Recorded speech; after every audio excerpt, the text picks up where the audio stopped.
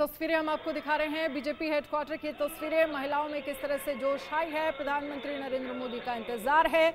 अभी कुछ ही देर पहले ये तस्वीरें हमने आपको दिखाई हैं, जहाँ पर बीजेपी के जो तमाम बड़े नेता हैं, वो वहाँ पर लगातार पहुँच रहे हैं। प्रधानमंत्री नरेंद्र मोदी का इंतज़ार है। जी ट्वेंटी की कामयाबी में कैसे महाजश्न जो है, वो जारी है। बीजेपी मुख्यालय कुछ ही देर पहले पहुँचे हैं रक्षा मंत्री राजनाथ सिंह। और दरअसल आज एक और ख़ास वजह है, क्योंकि जी ट्वेंटी को लेकर जश्न तो होगा ही और खबर सामने ये भी आ रही है, प्रधानमंत्री नरेंद्र मोदी का संबोधन भी होगा। लेकिन आपको बता दें कि आज जो है वो, क्योंकि मध्य प्रदेश की जो पहली लिस्ट है, वो सामने आ चुकी है। वो सीटें चुनी गई थी जिन सीटों पर बीजेपी को हार का सामना करना पड़ा था। लगभग सैंतीस सीटें थी या फिर प्रदर्शन उन सीटों पर अच्छा नहीं था मध्य प्रदेश में।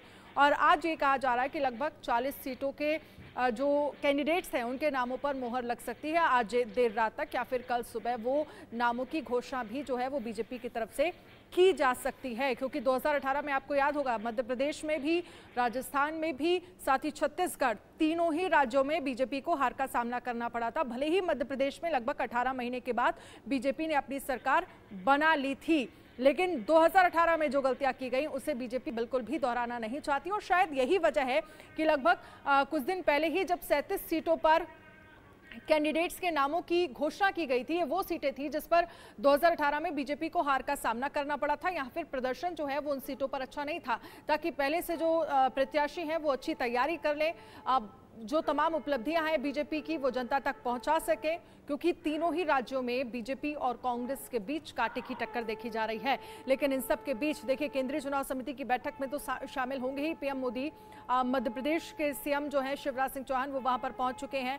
और साथ ही अब इंतज़ार है प्रधानमंत्री नरेंद्र मोदी का, और ये कहा जा रहा है कि एक छोटा सा रोड शो जो है, वो भी प्रधानमंत्री नरेंद्र मोदी का वहाँ पर होगा। लेकिन कार्यकर्ता बीजेपी किस तरह से जी की कामयाबी को लेकर गदगद है, और जब तमाम राष्ट्र अध्यक्ष देश से वापस अपने विदेश पहुँचे अपने अपने देशों में पहुँचे तो किस तरह से वो प्रधानमंत्री नरेंद्र मोदी की जी ट्वेंटी की कामयाबी को लेकर बोलते हुए नज़र आए और ये कहा कि शायद इतना सफल जी ट्वेंटी का आयोजन कभी नहीं हुआ और ये भले ही प्रधानमंत्री नरेंद्र मोदी की नीतियों को लेकर हो या फिर उनकी शख्सियत को लेकर हो और ये देखिए मनोज तिवारी को आप तस्वीरों में देख सकते हैं।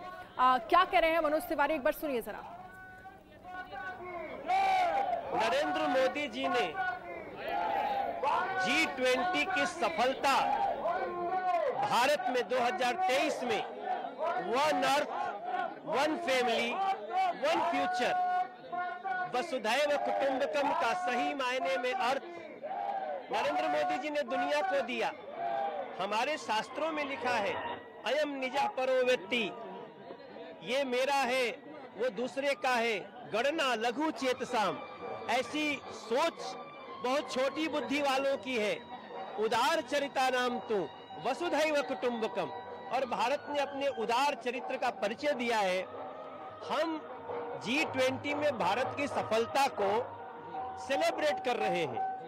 कांग्रेस को किसने रोका सेलिब्रेट करने से? कांग्रेस को अगर देश को अपना समझना है तो मोदी जी की सफलता मत सेलिब्रेट करो। लेकिन देश की सफलता को तो सेलिब्रेट करो। मैं देख रहा हूँ यहाँ जितने लोग हैं। कोई हरियाणा से आया है, कोई उत्तर प्रदेश से आया है, कोई दिल्ली के गलियों से आया है। हम नरेंद्र मोदी जी को इसलिए सम्मानित करने आई हैं कि नरेंद्र मोदी जी का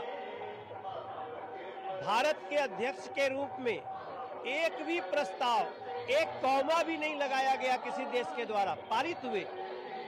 और अब G twenty G twenty one भी हो गया क्योंकि अफ्रीका यूनियन हमारे यहाँ शामिल हुआ। तो अगर इसको इतने जिनको काले देश, अश्वेत देश कह करके दुनिया कई बार तिरस्कार करती रही, उसको भारत ने सम्मान दिया, अफ्रीका यूनियन को। ये हमारे भारत के हर दलित, शोषित, पीड़ित के तरफ़ से भी मोदी जी का स्वागत है। और अगर इस पर भी विपक्ष को परेशानी है तो इसका मतलब कि विपक्ष की सोच बहुत छोटी हो गई।